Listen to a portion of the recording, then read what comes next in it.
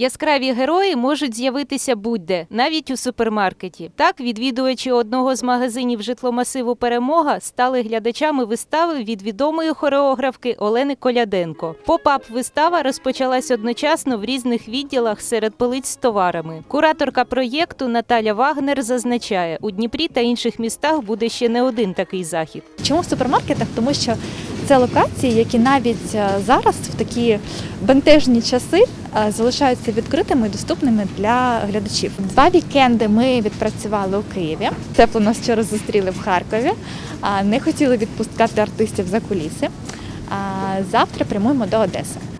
За сценарієм, шість вигаданих персонажів одночасно розпочинають гру в різних локаціях супермаркету. Вони дивують і залучають гостей до шоу. Серед артистів ілюзіоніст, еквілібрист, клоун, жонглер, танцівниця степу і перкусіоніст. Учасниця вистави Катерина Меланіч каже, для неї це дуже корисний акторський досвід. Наше непростое время это прекрасная возможность для артиста вообще реализовать себя и взаимодействовать с публикой, чего очень не хватает сейчас.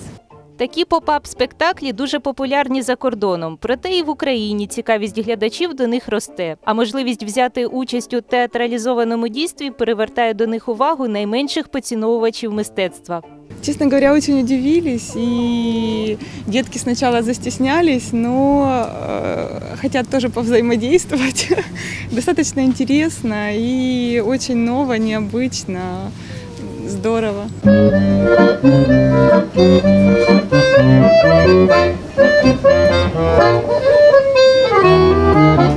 Олена Пічуріна, Руслан Герасименко. Новини 9 каналу.